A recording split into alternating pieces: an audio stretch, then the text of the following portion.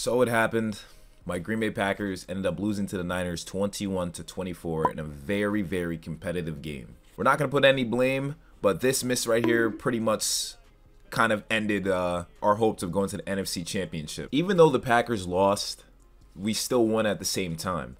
Considering all the critics, all people had to say in the presses, in terms of journalism, all that, all those sports shows, they didn't expect us to be here we sent the Cowboys to Cancun early, and now we're in Cancun. But we weren't even supposed to be in position to be sending people to Cancun and so on and so forth, right? And Packers have a lot to be proud of, you know? Like this guy Jayden Reed, our lead receiver, had a phenomenal rookie season, you know, as we used him all over the field pretty much, and he was just always clutch.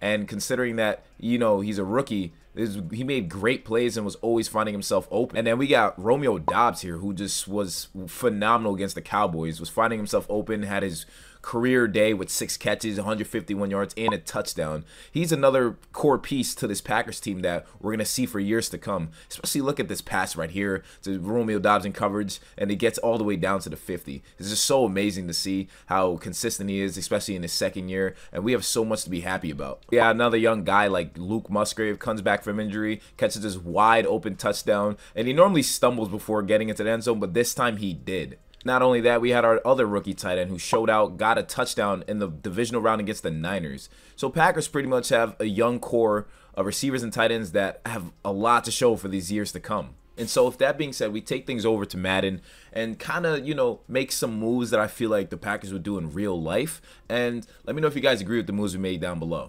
So, with the draft, the upcoming draft, we end up getting a running back in the first round. So AJ Dillon is on a contract here, and because of how I feel like AJ Dillon performed, I didn't think it was really necessary for us to bring him back, especially for a long-term extension. So we ended up getting a running back in the first round. So we ended up moving back to with the Niners because surprisingly enough, we went nine and eight and we faced the Niners in divisional, but we ended up losing. Same scenario, but we ended up drafting a running back, 76 overall, in Jonathan Brooks. He's six foot, elusive back. He's gonna be able to give Aaron Jones some spells and learn from him. And the second pick here, we got a corner. So I feel like Eric Stokes, you know, injury riddled, and we only really have Jaire, who's battling injuries, still being able to perform. And then Keisean Nixon as our slot guy, but we don't really have that solid guy. I don't have any faith in Eric Stokes, believe it or not. So we didn't even pick up his fifth year option. So we ended up get, getting a cornerback from Iowa, not Cooper DeJean, but we got TJ Tampa, 6'2 corner. He's gonna get have to learn a little bit, but he won't be too bad there. Then we also drafted a center, so I wasn't really too fond with the play of uh, Josh Myers this season. Yeah, he looked okay, but it's a lot of double teams, double team blocks that worked out in his favor. So we drafted Zach Frazier, a guy from West Virginia. He's gonna be there to back up, but we're gonna see how things play out. Who will be better, you know? And then we drafted a safety. So we ended up not re-signing Darnell Savage, even though I don't think we they picked up his fifth year option in real life, but I have no idea. But we did not re-sign him. And we ended up getting a guy from Oklahoma in the third round and uh, Billy Bowman. And then the rest of the draft, we after we picked up a backup outside linebacker, we let simulation do the rest. So we ended up getting a quarterback in Jordan Travis, uh, nose tackle, tackle, cornerback. Ricky Pearsall, wide receiver, and another running back from Georgia. So that was what the draft class looked like. So this is what the offense looks like. So we ended up cutting David Bakhtiari because I feel like that's the most reasonable thing we could do. We also got 20 million in cap for cutting him.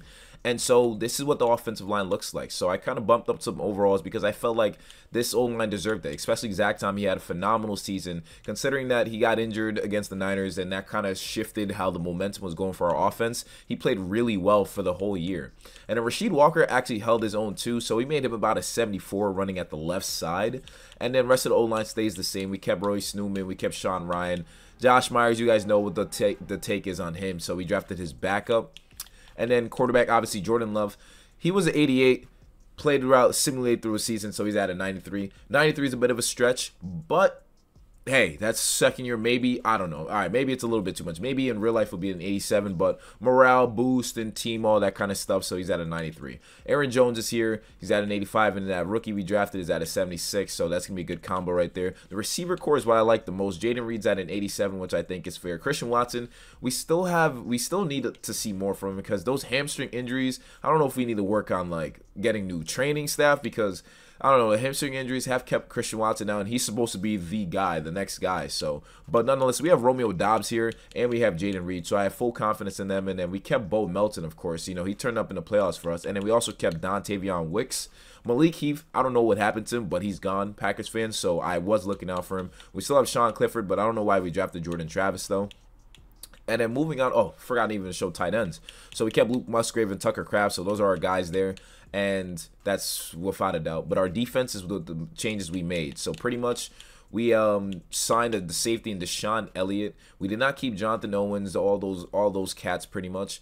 But DeShon Elliott is here along with Anthony Johnson, TJ Tampa. Billy Bowman Jr. will be a starting at free safety. So we'll make up a scenario like, okay, we really liked how he performed in the combine at Oklahoma and he fits the scheme and, you know, he's a rookie. And so with the D line, we bumped up some overall. So I feel like it was well deserved. I mean, TJ Slaton, I'm like, as a Packers fan, watching him play, even though like he wasn't like a huge game changer, the effort was there and the consistency was there by him anytime he was in. And Devonte Wyatt, I feel like towards the later half of the season started performing well too. So you know he's there as well. So they're running their ends pers- respectively, and y'all know Kenny Clark, he's a beast. Jaire, he's a beast. T.J. Tampa, Eric Stokes, you know we didn't pick up his fifth year option, so this pretty this season's pretty much is all on him to see how he performs because we already got his backup in Tampa, and then yeah, and the big surprise is that we kept Anders Carlson. I know, I know insane for us to do that. We ended up getting a new punter in Braden Mann. We got rid of Daniel Whelan. Insane for us for keeping Anders Carlson after missing those kicks. And literally, Matt LaFleur saying that every time he goes out there, we just pray that he makes the kick.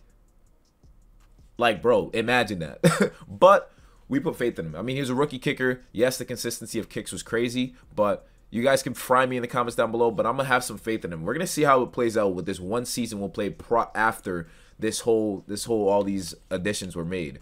And we're gonna make sure Keisean Nixon still plays at that slot corner. I think he fit really well there. And so why do they have a random guy playing here? So at the slot corner, we're gonna obviously just put um Keisean Nixon there, and then yeah, we're gonna sim throughout the season, see how it plays. And no, we did not forget about Carrington Valentine. Uh, he's on the depth chart too. He made it past the practice squad or the preseason, and so we are gonna be running with six corners. New guy being uh, Khyree Jackson and TJ Tampa. So pretty much meaning that Corey Valentine, we let go of him. And uh, the other corner, I believe, was David Long. So we let go of him as well. But TJ Tampa and Khyree Jackson, they have a chance to figure out how they'll fit into this mold. But still, young corner crew, honestly, oldest being Jaire and Keisean Nixon. So should be interesting to see how this plays out with this group. What better to test out this new squad than with the Packers against the Lions, the guys who won the division last season. So Boom, wide open. Jayden Reed, a dime already, bro. Jordan Love, 6 for 6, 66 yards on this drive. We obviously want to hit up Doubs here, but it'll probably be a Christian Watson touchdown. So let's make things happen. Oh, yeah, easy. What a dime, bro. Perfect placement and everything. That was just way too easy. So we get to take a look at this defense, how we're going to perform against uh, no pass rush, no pass rush. Okay, and we forced the ball out of bounds. Jaire was in coverage, so we'll take that. Dude, and it looks like the offense just keeps going down the field to score. We're up 28 to 17, setting the tone. Uh, gave up three points again, but seems like every offensive possession, we're just going down the field and scoring, dude. We got the ball back. We're up 42 to 20. Dude, oh my goodness, bro. We gave up a garbage time touchdown, but it didn't matter. We ended up winning 42 to 28. We set the tone. Jordan Love threw five touchdown passes, had three, had a 146 pass rating. Jared Goff had three touchdowns, one pick. That what an insane game. Uh, Aaron Jones had one touchdown. He fumbled once. That's not good. But our run defense looks like they held its own. Romeo Doubs went off. Nine catches, 87 yards, two touchdowns. Christian Watson, eight catches, 73 yards, two touchdowns. Jayden Reed, seven catches, 96 yards. Um, we gave up huge chunks of yards to Jameson Williams and Amon-Ra St. Brown, but we looked pretty comfortable. And Aidan Hutchinson had two sacks. Pre- Preston Smith and Kenny Clark still doing their thing, of course. And Jaire Alexander had an interception. So Overall, great performance. It looks like we're starting off on the right foot. We sim to the middle of the season. Packers are six and one. We just put up 49 points on the Titans, winning 49 to 24. We're facing the Seahawks. So being six and one, Jordan Love is going off. He's leading in passing yards, 79 completion percentage, 1,800 passing yards, and 27 touchdowns in seven games. 27 touchdowns in seven games. I'm not gonna say Jordan Love can't do that, but that's insane. 27 touchdowns to two picks, 138 passer rating. All right, he's cracked right now. What? Middle of the season, bro. In seven games, he has se- Bro, Romeo Doubs, 10 touchdowns. Jayden Reed, 7. Luke Musgrave, 3. Uh, Christian Watson, 3 touchdowns. Wow. Um, okay, that's so crazy to see because defense isn't doing anything nearly as special. They're middle of the pack. So, like, I guess the offense took it to the next level. So maybe I'm a Packers fan trying to cope, but realistically, all right, let's be honest. That's crazy. That's OD. In seven games, 27 touchdowns is a little bit a lot. Like, Jordan Love must have broken records. He's in 96 now. So, I'm not saying he can't do that, but, bro, that's kind of OD. Like, now, if Jordan Love takes it to that level next year in real life, hey, I'll be the first to say we saw it here in Madden first. But 27 touchdowns, I feel like he broke records. We got to look at the schedule. He must have broke records. Like, because 27 touchdowns in seven games is a bit insane. We lost to the Bears. All right, that's wild. So five touchdowns against the Lions. So that's a five touchdown count. Against the against the Bears, he threw two touchdowns and two picks. Okay. So he's at seven touchdowns here. They threw three touchdowns, so he's at 10 touchdowns here. So 10 touchdowns here. And then against the Vikings, he went off and threw five touchdowns. So he has 15 touchdowns total. And then against the Niners, we actually won. And he threw two touchdowns. So he got his revenge. So he's at 17 touchdowns. And so over the next two games, he threw 10. Whoa. So against the Cardinals, he threw four touchdowns. Oh my gosh. So he's going to throw six against the Titans. Against the Titans, this man's threw six touchdowns. Bro. He's on one right now. He's literally on one. So, all right, I'm feeling confident how I perform. Oh, we didn't even look at our kicker. We didn't. We didn't even see how. Actually, no, no, no, no, no. Let's look. Let's look at how Anders Carlson is doing. Pretty much, we gotta see. We gotta see that. We gotta see that kicking. He's missed a field goal. Are you serious? Are you serious, bro? You've had five field goals and you missed an extra point. All right, that got blocked, so that's fair. But you missed a field goal. You've only had five field goals. Your longest was 56. Okay, that's good, but man, come on, dude let's be better than that, man. Like, I'm I'm rooting for you. I'm you know this is post Packers NFC divisional round loss to the Niners, man. You got to do better than that. But six one facing the five and two Seahawks. I have confidence in the squad, so let's go to the playoffs. All right, so we end up going 10 and 7, winning the division. I'd expect them to fare a little bit better, but nonetheless, we face the Niners, so we get a rematch against them.